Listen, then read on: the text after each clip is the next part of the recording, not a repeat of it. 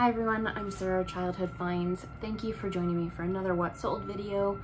I wanted to say thank you to all of you for your kind words and sharing your stories over the last couple videos with me of moving through hard times. And I just, I'm appreciative of many of you being able to share and just be kind. I hope that in the future, my only goal was that maybe this talking about it would help someone else. So that's what I'm shooting for. And I feel like maybe that could happen. I have been doing okay this week, got through some more stuff. My eBay store is doing better. It's not where it still needs to be, but at least I'm bringing in some money. So I'm actually, I think I doubled what I did last week, which still isn't great because it wasn't that good the week before, but it's better and once I really start to get back into listing and I'm able to source again so I'm able to find more good inventory because that's the kind of the thing I've run into which many resellers do is it starts to get sometimes a little stale during winter when you're not out actively sourcing new inventory and you may just have things that were in your death pile. But it's been good to get through that kind of stuff. So I've been working through it and hope to get some new stuff later on. I have some stuff to share with you, a couple decent sales, a lot of, you know, typical sales from me, a little bit of everything as always. And I wanted to share too, I started finding, I refound a hobby that I really haven't done much over the last few years because it was something it so I'm starting another little YouTube channel, just another little fun one and I want to be able to maybe share some of it on here eventually because I think it could be relevant. So my brother probably two decades ago taught me how to make these macrame necklaces like the one I'm wearing and you've probably seen me wear in previous videos. It's something after he passed away that I stopped doing, but I started doing it recently to cope again just because it helped me feel connected to those people that I've lost. And it's been fun. So I thought, you know what, if I'm going to have a whole bunch, I already have a ton to keep. Why don't I sell some of them? So I'm going to share that on a different channel called Macrame Sarah. I'll link it down in the description if it's something you're interested in. I eventually might do how-to videos, what sold videos, etc. if it comes to that. I don't know if I'll sell any of it. I'm just doing this for fun and I thought if things do start to sell that maybe I can talk a little bit about that on here just because I think it could be relevant. And it could be another stream of income for some of you on here and just another avenue to look at because you know that's all about what this channel is is sharing things that you can find to sell. And in this case it would just be finding the material to make and then sell. So I thought that might be fun in the future to talk about if anything comes of it. But for right now I'm just having fun doing it. So you can check out that channel if you'd like and I just opened up an Etsy shop, guys. I, I'm considering maybe adding some of my higher dollar vintage items on there because I've really never sold on Etsy and seeing how that goes and being able to share insights about Etsy with you guys because I haven't been able to in the past. So we'll see what comes of this. And now we're going to go ahead and get started on what sold. And as always, I would love since I haven't talk, done this in a couple videos is please in the comments share with me any of your favorite sales if you're a reseller, anything you found that if you're not a seller that you found that was amazing out there in the wild, or if you like any of my items, you can share that too, um, just so we can all chat, chat and learn together. And let's go ahead and get started with those sales. This first one is an A&W plush, the Great Root Beer Gun 2016 inch plush stuffed animal vintage reed. I sold it for a best offer of $19. I believe I paid about a dollar for this at a thrift store. It's been a very long time. I think it's probably been listed at least a year and a half, but it finally sold. It was kind of big, but it did go international, which was interesting. And this is a Gorham Strasbourg Sterling flat handle butter spreader knife, no monogram. And I sold this for best offer of $15.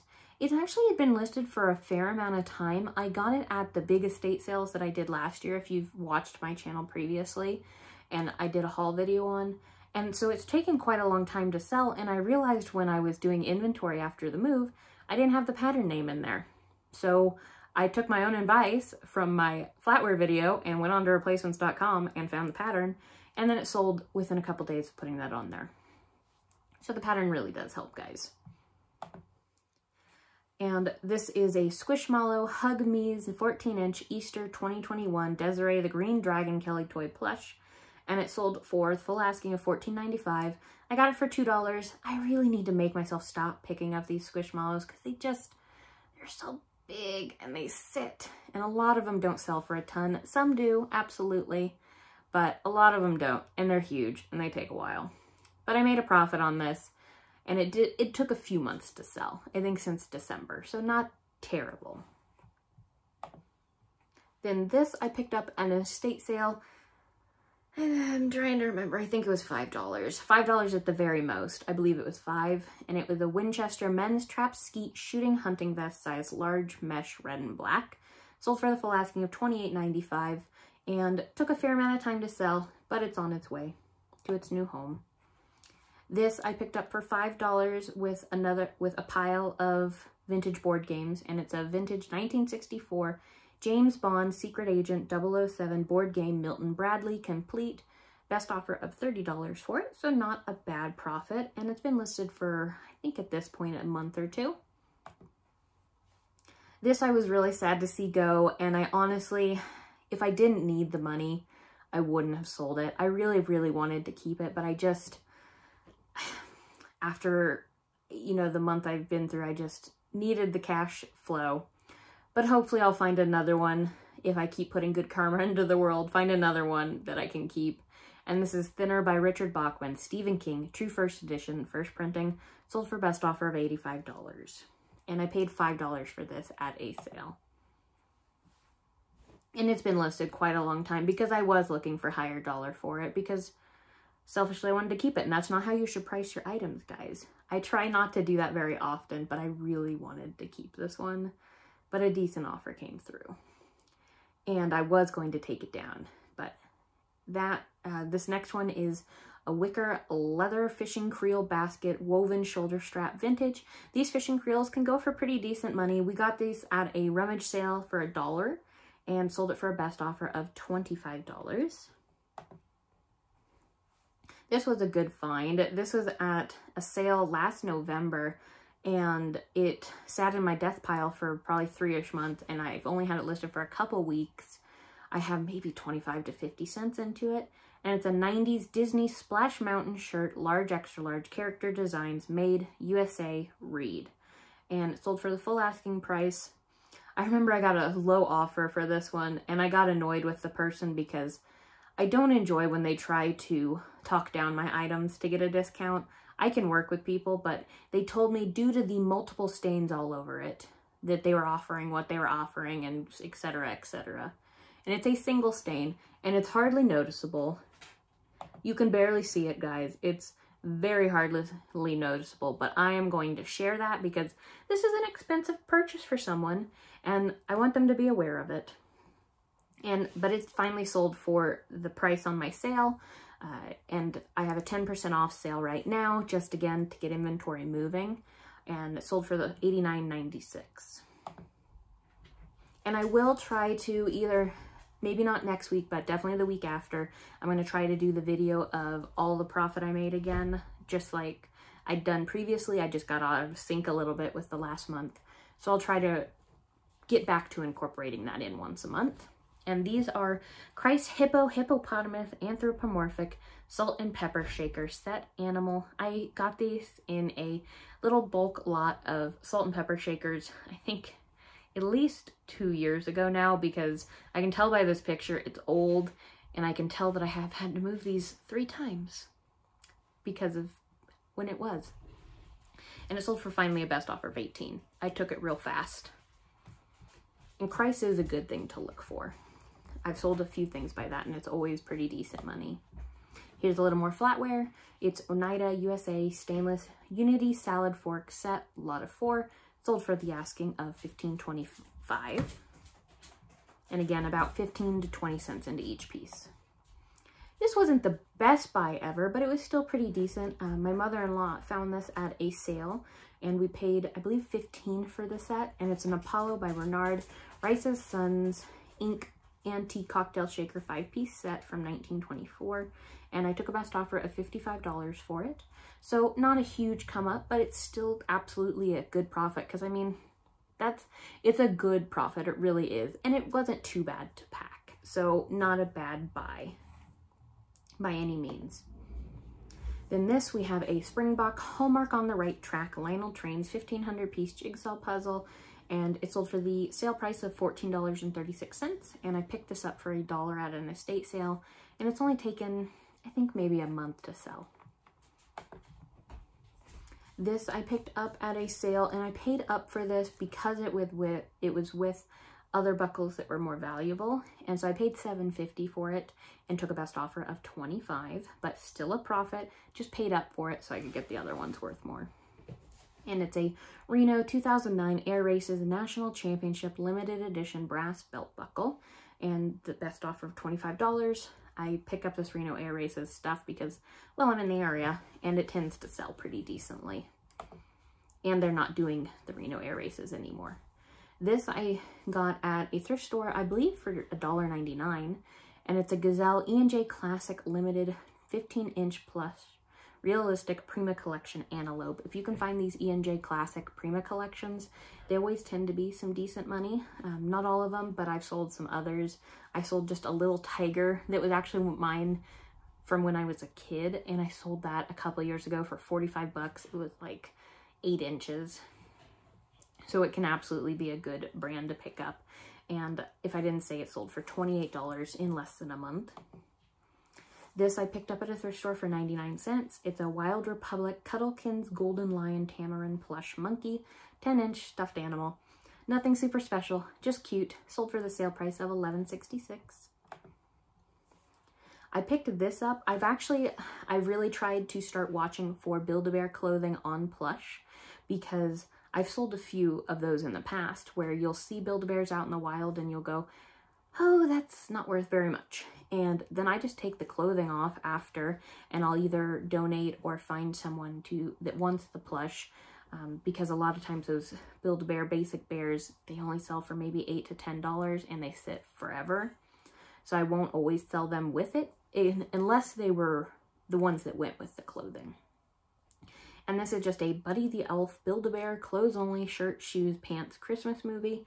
Sold for a best offer of $15 and I got the plush with this outfit for a dollar. And if you're at, say, the Goodwill bins, you just rip the clothes off and throw the plush back and that can make you some good money because these clothing pieces tend to weigh almost nothing. This I picked up at an estate sale, I believe at the same one as the Lionel Trains puzzle for a dollar. And it's a Vidal Sassoon 3 4th inch Pro Curl Styling Iron Curling 2001 vintage. Sold for the sale price of 1976 and didn't take very long to sell actually. I'm always surprised when stuff like that sells, but I know that there's people that once you get attached to a certain piece of equipment that you're going to look for it if it ever goes down because you like it and you're used to it. So it makes sense. And this is a Thomas Kinkade Painter Light Congress Cel-U-Tone Playing Cards, new 2004. These weren't a great buy. I picked them up at a thrift store for $1.99, and but they sold for 10 or $9.95, and they sold in less than a week. So it's not a terrible buy. I still made money, but you know, still not a huge profit. And they went quick, so I would still do this again. Oh, come on, computer, we're almost there.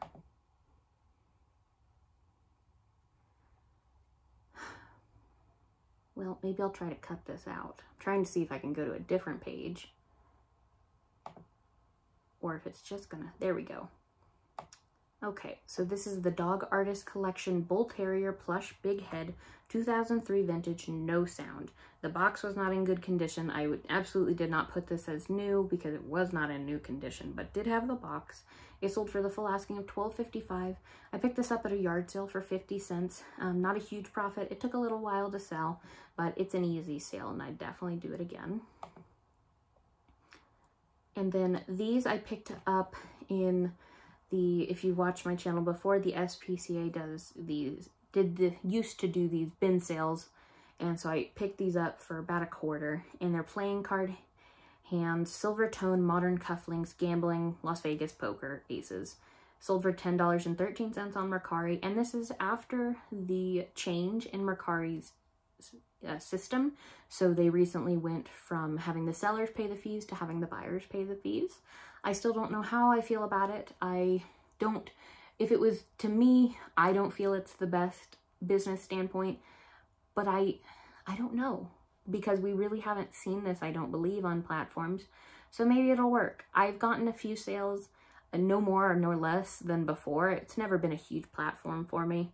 So I think it's just more of a wait and see. And I really think to get a good opinion, we'd have to find someone that sold a lot on Mercari before and to see how they're doing now. Um, but it's nice. You know, it was nice. The offers that I was getting, I was able to just say like, okay, you know, I already know I'm making exactly, I took an offer for $10 on, on an item and knew I was making $10 on it. So that's nice, but I don't, I think it, to me, I see it as even if we lower our prices to compensate for the fees the buyer is paying, it's still that psychological effect where they see that fee and don't want to pay it. So who knows? I think we just have to wait and see um, how it does. Maybe it'll the Mercari will go under or they'll go back to the old way or this way will thrive. We'll see. And I'll keep you updated on how my sales are doing. I've gotten a few sales since and, you know, I'm happy with that. But my computer's to definitely be slow now, even though I got all this ready before. Okay, and this next one that the picture will load here in a minute. They're vintage signed Monet, small knot loop, silver gold tone, clip-on earrings. They're just tiny little things. They've been listed since February of 2023, and I finally just took an offer of $9 on Mercari. Again, I made $9, so there was no fees, so it was easier to take that. I think I have about 50 to 75 cents into these earrings.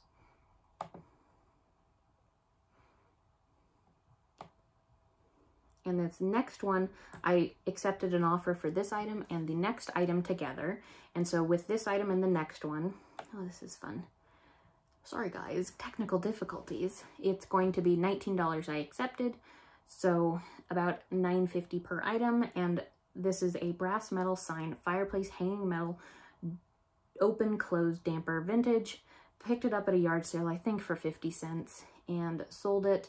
It's been listed for quite a long time, along with this brass item, which is why I definitely took the offers because both of these items have been listed quite a long time.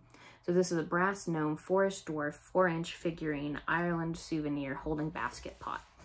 And it sold them, excuse me, for the 950 as well with the other brass piece. And I have a dollar into that one. Then we have here, this has been listed quite a long time. I remember picking this up for about a dollar and it's been listed, I think, through two Valentine's days now. And finally sold here in April. And it's a Hallmark Hartley Dog Stuffed Plush Golden Retriever Yellow Lab Valentine's Day. Sold for $20 on Poshmark.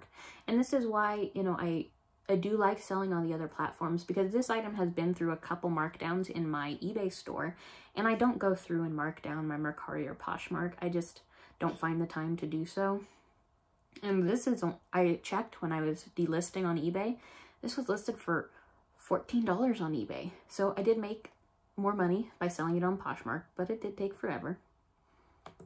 And our last item here is a piece of Wedgwood. It came from my big Wedgwood buy. I have a fair amount into this, I think probably seven to eight dollars and that's just because I had other valuable pieces so I still made a little profit on this one but it's not I tend to take a, um, I tend to take a, when I buy a bulk lot, I divide it by the number of items I list, and then that's how I get my cost. So sometimes prices seem really high or really low that I pay. And this is a Wedgwood Jasperware Dark Blue Oval Trinket Jewelry Box with lid, sold for $15 on Poshmark, and it's taken a fair amount of time to sell, but that's a good chunk of what I sold this week. Uh, sales are picking up some and hopefully will continue to do so since I will actually really start to be able to work on my store again. And so thank you all for joining me. I look forward to seeing you guys on the next one and I look forward to getting back on to a normal routine and getting a couple videos out a week here in the next few weeks. So see you guys on the next one.